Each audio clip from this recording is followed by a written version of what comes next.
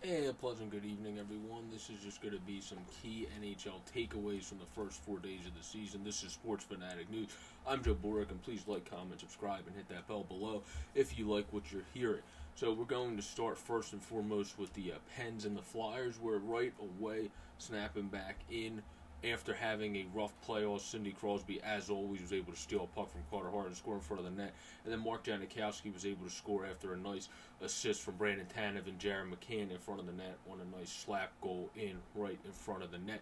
James Van Riemsdyk showed some net front presence, and new acquisition Erik Gustafsson was able to be a part of both power play goals, showing his nice wrist shot on one, a nice slap shot on another to be able to set guys up. One in Patrick and the other in Van Riemsdyk to be able to get deflection goals in front of the net. So a lot of guys, the Flyers want to stand out. Definitely were able to stand out early for their team, and that was able to also carry in for their club uh, to their second game as well, which was obviously Friday evening uh, when the Philadelphia Flyers beat the Penguins uh, five to two, and Travis Konecny was able to score a hat trick and have a very good game and then Carter Hart was able to be their savior in the second period after they really clapped and did not show up nearly as well in the second period.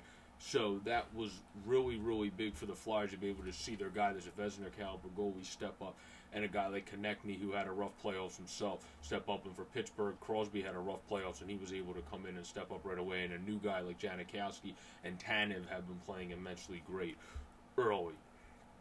Um, for Montreal, we've got to see the Suzuki show again since the season started. He was able to get a goal in the first game, and then Jeff Petry has also been good uh, since the start of the season. He was able to pot and assist in the first game, but you can't go without talking about Montreal without pointing out how well two guys have played, and that's Tomas Tatar and Josh Anderson. Josh Anderson was able to pot two goals in his first game, one really crashing hard to the net, and then Tomas Tatar was able to pot a goal in his first game and another one in the game today. Uh, actually, if I remember correctly, I believe he actually potted two um, in the game today in the five to one victory for the Montreal Canadiens over the Edmonton Oilers, really pounding them.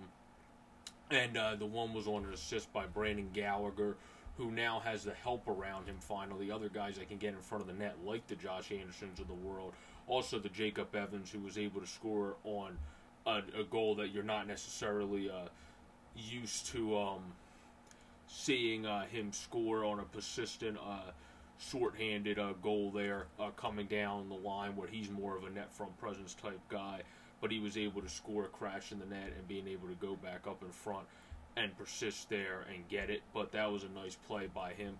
So it's nice for them to be able to see uh, who they want to see uh, step up and see some guys like Petry who continues to do well and be one of the most underrated defensemen uh, in the NHL as far as I'm concerned. Early on in the season thus far, Jeff Petry already has two goals and two assists for four points for a plus three rating. The dude is absolutely ridiculous. And Tatar on the season thus far um, is already doing well, having two goals and just playing a great hell of a season.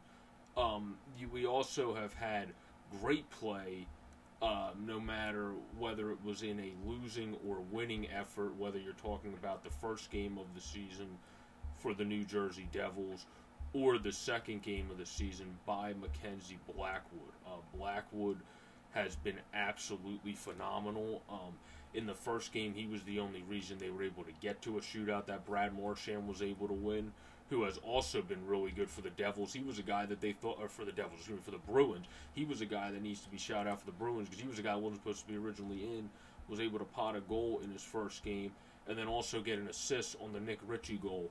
But a guy that must be shouted out for the Devils is Ty Smith, who was able to pot a goal in his first game off of an assist by Matt Tennyson, a defenseman they really like, and youngster Jack Hughes. So that was huge for them too. And then Smith was able to carry his stellar early play of his career into the game that they were able to win in OT on uh, Saturday th- th- today as well. So it was nice to see Ty Smith be able to become part of a goal that Miles Wood was able to score when he was able to get the shot on net and just play a really well, nice and consolidated game out there. So that was just good good for him. Another rookie that did really well on the first game of his career was John Leonard, uh, who looked really good, potting a primary assist on Timo Meier's goal on the first game of the season for the Sharks. And then he was also able to get an assist um, on Evander Kane's goal, uh, being able to showcase his talents coming from UMass Amherst as a sixth round pick. He could be, end up being a very good find uh, for the Sharks. And then Kane had a very nice uh, third period goal on a breakaway there, which was the goal that Leonard was able to get an assist on. So that was very nice to see. Uh, Phil Kessel is getting off to a hot firecracker start. He was able to net the key game tying goal to make the game go into overtime in the first game of the season. And then, of course, in today's games, he was a pivotal part of beating the San Jose Sharks. He was able to net a goal in the first period on an assist by Oliver Ekman-Larsson, and then he was also able to net a goal later in the game, also on an assist by Oliver Ekman-Larsson. Uh, so he already has three goals on the season and is just really rounding and pounding out there, proving people that he is definitely not washed up and definitely not ready to stop playing anytime soon. But that is just the guys that I think have standed out so far early. There's also another guy that has to be talked about before we go, and that is Vitek Vanecek in his first game uh, for the Washington Capitals. Really showed up against the Buffalo Sabres. They got outshot by 10, and they were still able to beat them 2 to 1 because of a very nice wrist shot goal coming into the uh, slot by Jakub Vrana, who's one of the most underrated wrist shots in the league, as far as I'm concerned. Another great wrist shot goal over the glove of uh, Linus Ullmark uh, from Tom Wilson, who also has a very underrated shot because everybody thinks of him for his toughness. But Vitek Vanecek looked very good, calm, cool, collected, and poised in that game and made some huge saves on key moments that the defense even broke down at times uh, for Washington. So he definitely needs to be shouted out uh, early. And then Collin Delia in his first game did look good as well. He just obviously, when you're playing a team like Tampa Bay, he wasn't able to get the protection you would like to see and love, but he started off the game good, just like Malcolm Subban. Then, obviously, how you expect with Chicago as a rebuilding team, the floodgates kind of opened a little bit, and Tampa was able to get it done. But guys have looked good in their first games early. Uh, from rookie standouts, there's been Ty Smith looking great so far in all of his games, being able to be a big part of the offense. Uh, a guy for um, Ottawa, Josh Norris, has looked very good uh, so far this year, as well as uh, Brady Tkachuk. So you definitely want to see all of those guys stand up and show out early. Uh, Josh Norris and Drake Batherson really stole uh, Tim Stützle's debut from him, uh, who was finally able to um, get that. Well, not finally, it's after two games, but in his second game, bat a ridiculous goal out of the air great hand-eye coordination for a one-timer for Stützle's first goal for the German kid. I mean, he's going to be a great player in the NHL. He's already able to come over here. The great Alex Trebek, rest his soul, was able to announce his pick. I mean, this dude is going to be a beast, and he was able to showcase his hand-eye coordination bat that one out of the air. But it was funny. I mean, everybody was excited for his debut. I was excited for his debut. I put it on the TV.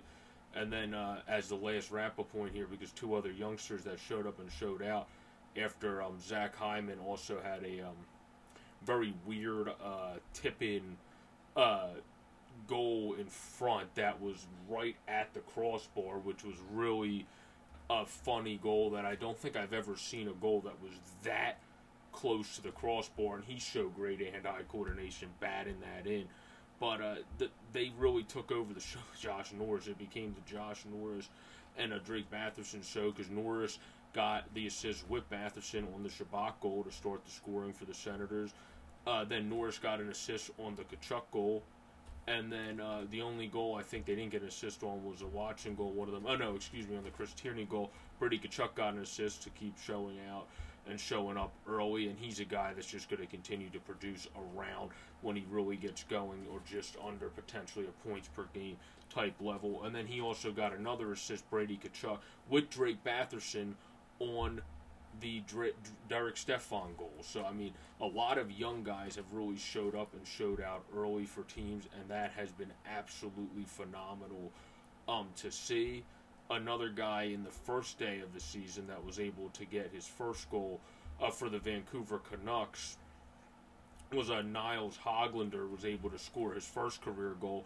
So a shout out to him as well as Stützle was also able to do so, and Ty Smith was able to do so for the Devils. So those have been some key takeaways or top takeaways from the NHL's first four days of the season. I'm going to do these videos every so often on some top takeaways, and I'm also going to start doing some videos on some guys that I think are going to be top players at their position um, for rewards by the end of the season fairly shoot shortly as well.